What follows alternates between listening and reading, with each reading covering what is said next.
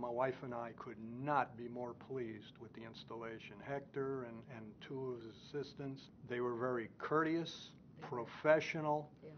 They, uh, they finished in two days, and I'm talking uh, going through a whole living room, um, two bedrooms, two hallways, and a den.